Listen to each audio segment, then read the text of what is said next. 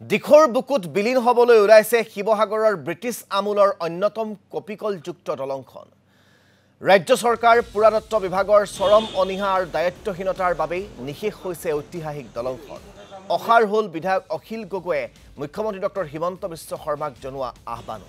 যিকোনো মুহূৰ্ততে খহি পৰিব পাৰে শিৱসাগৰৰ ঐতিহাসিক পুৰণি দিখৌ দলং। ঊনৈছশ পঁয়ত্ৰিছ চনতে ব্ৰিটিছ কোম্পানীয়ে নিৰ্মাণ কৰিছিল এই দলংখন। দলংখন নিৰ্মাণৰ বাবে ইংলেণ্ডৰ পৰা অনা হৈছিল লোহা। এইখন দলঙৰে চাৰিটা খুঁটাৰ প্ৰায় নব্বৈ শতাংশ এতিয়া জহি খহি গৈছে। পৌৰসভাই দলংখন পুনৰ নিৰ্মাণৰ বাবে বিৰাল্লিছ লাখ টকাৰ এক আঁচনি তৈয়াৰ কৰিছিল যদিও বাস্তৱত সেয়া কোনো কাৰ্যকৰী হৈ নুঠাত ধ্বংসৰ মুখলৈ গতি কৰিছে দলংখনে। যিকোনো সময়তে নৈখনৰ প্ৰবল বানত উটি যাব পাৰে ইতিহাস প্ৰসিদ্ধ এই দলংখন। আৰু এই দলংখনৰ বৰ্তমানৰ সেই যিটো অৱস্থা সেই অৱস্থাটো সন্দৰ্ভত আমাক বিস্তৃত ৰূপত জনাব শিৱসাগৰৰ সাংবাদিক মুজাক্কিৰ আহমেদে। মই এই মুহূৰ্তত উপস্থিত আছোঁ ঐতিহাসিক পুৰণি যি দিখৌ দলং আছে সেই দিখৌ দলং আৰু এই দিখৌ দলং এক পৰিৱেশ এই মুহূৰ্তত দেখাইছোঁ যিহেতু বাৰিষা অহাৰ লগে লগে এই দিখৌ দলংখনৰ বাতৰি এইকাৰণে কৰিবলগীয়া হয় কাৰণ যিকোনো মুহূৰ্ততে বাৰিষাৰ যিকোনো মুহূৰ্ততে এই দিখৌ দলংখন উঠি ভাঙি যাব পাৰে। কাৰণ এই দিখৌ দলংখনৰ ঐতিহাসিক যি পুৰণি দিখৌ দলং আছে সেই দিখৌ দলঙৰ এতিয়া পুতৌ লগা অৱস্থা। মই এই মুহূৰ্তত সতীৰ্থক আছে সতীৰ্থক এই মুহূৰ্তত পৰিৱেশটো দেখাইছোঁ। মাজভাগৰ যদি আপুনি পৰিৱেশটো এই মুহূৰ্তত চায় তেতিয়াহ'লে গম পাব আচলতে ঐতিহাসিক এই যি দলংখনৰ সেই দলংখনৰ দুৰৱস্থাৰ কথা।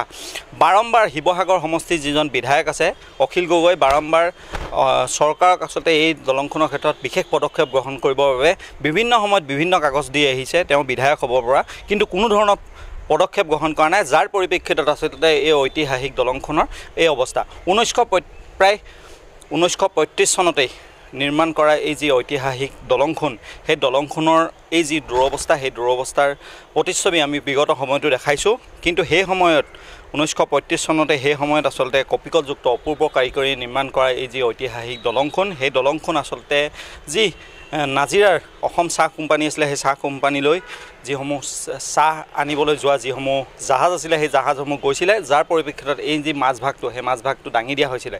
কিন্তু পৰৱৰ্তী সময়ত এই যি দলংখন এই দলংখনৰ অৱস্থা এইদৰে। আচলতে বিভিন্ন দল সংগঠনে এই দলংখনৰ ক্ষেত্ৰত আচলতে প্ৰতিবাদ কৰি আহিছে শিৱসাগৰ লৈ কিন্তু কোনো ধৰণৰ পদক্ষেপ গ্ৰহণ কৰা নাই। বিধায়কগৰাকী শিৱসাগৰ সমষ্টিৰ বিধায়কগৰাকীয়ে এই দলংখনৰ ক্ষেত্ৰত পদক্ষেপ ল'বলৈ বাৰম্বাৰ আচলতে দাবী উত্থাপন কৰি অহাৰ পিছতো দাবী উত্থাপন কৰি অহাৰ পিছতো কোনো ধৰণৰ পদক্ষেপ লোৱা নাই। অসম চৰকাৰ হওক বা যিসমূহ যিগৰাকী মুখ্যমন্ত্ৰী আছে সেই মুখ্যমন্ত্ৰীক বাৰম্বাৰ শিৱসাগৰ সমষ্টিৰ যিজন যিজন বিধায়ক আছে সেই বিধায়কজনে কাগজ দিয়াৰ পিছতো বা তেওঁ মৌখিকভাৱে জনোৱাৰ পিছতো কোনো ধৰণৰ পদক্ষেপ গ্ৰহণ কৰা আটাচুৰ বিষয় আছে আমি পাৰ্থ আছে আমি পাৰ্থ ওচৰৰ পৰা পোনপটীয়াকৈ জানিব বিচাৰিম। বিগত সময়তো তোমালোকে এই দলংখনক লৈ আচলতে প্ৰতিবাদ কৰি আহিছা। শিৱসাগৰ সমষ্টিৰ যিজন বিধায়ক আছে বিধায়কজনে চৰকাৰক হওক বা মুখ্যমন্ত্ৰীক হওক এই দলংখনৰ ক্ষেত্ৰত পদক্ষেপ ল'বলৈ কাগজ দিছে বা মৌখিকভাৱেও কৈছে। কোনো ধৰণৰ পদক্ষেপ লোৱা নাই। কি ক'বা এই মুহূৰ্তত? চাওক বাৰম্বাৰ আপোনালোকৰ এই সংবাদ মাধ্যমৰ জৰিয়তেও আমি কৈ আহিছোঁ চৰকাৰক বা প্ৰশাসনৰ বিভাগীয় কৰ্তৃপক্ষক কৈ আহিছোঁ। কিন্তু আজি পৰ্যন্ত এই দলংখন মেৰামতিৰ পুনৰ নিৰ্মাণ কৰাৰ ক্ষেত্ৰত কাৰো সদিচ্ছা নাই। আচলতে চৰকাৰৰ বিভাগীয় কৰ্তৃপক্ষই কথাটো এক কথাত ক'বলৈ গ'লে চূড়ান্ত হেমাহীয়া সদিচ্ছাৰ অভাৱ। আমি বিভিন্ন সময়ত কৈছোঁ দলংখন যদিও ইয়াত যাতায়াতৰ ব্যৱহাৰৰ কাৰণে উপযোগী নহয় তথাপিও এই দলংখন যদি পথচাৰীৰ বাবে উপযুক্ত কৰিব পৰা যায় নেকি এনেকুৱা এটা ব্যৱস্থা কৰিব পৰা যায় নেকি আমি এইটো কথাও তেওঁলোকক আমি দৃষ্টিগোচৰ কৰিবৰ কাৰণে বাৰম্বাৰ কৈছোঁ কিন্তু কোনো ধৰণে আমি দেখা নাই। কিন্তু আপুনি চাব যে এইখন এখন এনেকুৱা এটা সাধাৰণ দলং নহয় ঊনৈছশ পঁয়ত্ৰিছ চনতে সেই সময়তে লণ্ডনৰ টেমছ নদীৰ আৰ্হিত নদীৰ ওপৰত থকা দলঙৰ আৰ্হিত নিৰ্মিত এখন দলং। ভাৰতবৰ্ষত এনেধৰণৰ দলং প্ৰায় বিৰল। মানে সাধাৰণতে এই এনেধৰণৰ দলং পাবলৈ পোৱা নাযায়। কিন্তু তেনে ক্ষেত্ৰত প্ৰায় এশ বছৰ গৰকিবলৈ মাজত মাত্ৰ কেইটামান বছৰ বসন্ত বাকী। তেনে ক্ষেত্ৰত এনেকুৱা এখন দলং এনেধৰণে পেলাই থকা পেলাই থৈ দিয়াটো কিমান দূৰ যুক্তিসংগত এইটো কথা আমি টাইম ছাত্ৰহঁতে প্ৰশ্ন কৰিছোঁ। আৰু বিশেষকৈ সৌ সিদিনা আমাৰ শিৱসাগৰ জিলাৰ জিলালৈকে আমাৰ অসমৰ মাননীয় মুখ্যমন্ত্ৰী মহোদয় দুবাৰ তিনিবাৰ আহিছে। গতিকে আমি বাৰম্বাৰ আমি কৈ আহিছিলোঁ যে মুখ্যমন্ত্ৰী ডাঙৰীয়া গোটেই বিষয়টো দৃষ্টিগোচৰ হ'ব লাগে।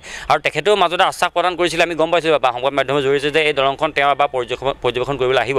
কিন্তু আমি দেখিবলৈ পালোঁ যে সম্পূৰ্ণ ফুটুকাৰ ফেন দলং দলং দলংভাগে থাকি গ'ল। প্ৰতিবাদ আমাৰ আমাৰ প্ৰতিক্ৰিয়া প্ৰতিক্ৰিয়াৰ বাবে থাকি গ'ল আজি পৰ্যন্ত। এনেধৰণে দলংখন পৰিত্যক্ত অৱস্থাত থাকি গ'ল। অতি দুখজনক ছবি আৰু হতাশাজনক ছবি ছবি। আচলতে এই দলংখনৰ যে এটা ইতিহাস আছিল আমি নৱপ্ৰজন্মক কোৱাৰ পৰা যে আমি কোনমানখানি ভাঙি ছিঙি যে ইয়াৰ পৰা শেষ হৈ যাব এইটো প্ৰায় নিশ্চিত হৈছে। যে এইখন দলঙৰ তলেদি যে সেই তলেদি তাহানি যে ব্যৱসায় বাণিজ্য না নাজিয়ালৈকে চাহপাতৰ ক্ষেত্ৰতে হওক বা লোহাৰ সামগ্ৰী অনা নিয়াৰ ক্ষেত্ৰতে হওক যে এটা এটা বৃহৎ এটা এটা ব্যৱসায়িক প্ৰাণকেন্দ্ৰ এই দলংখনে যে সাক্ষ্য বহন কৰিছিল। এই কথাবোৰ আচলতে সময়ৰ কটিল গতিত এদিন দলংখন নিশেষ হৈ গ'লে হেৰাই যাব নেকি এই কথাৰ প্ৰশ্ন আহি পৰিছে। আমি শেষবাৰৰ জ্ঞাপন কৰিছোঁ এই মুহূৰ্তত মুজাক্কিৰ আহমেদ আমাক দল সংগঠনৰ প্ৰতিক্ৰিয়া জনোৱাৰ বাবে। এতিয়া সকলোৱে আশা কৰিছে যে চৰকাৰে সময় থাকোঁতেই ব্যৱস্থা গ্ৰহণ কৰি এই ইতিহাস প্ৰসিদ্ধ দলংখন পুনৰ নিৰ্মাণৰ ব্যৱস্থা কৰিব লাগে মেৰামতিৰ ব্যৱস্থা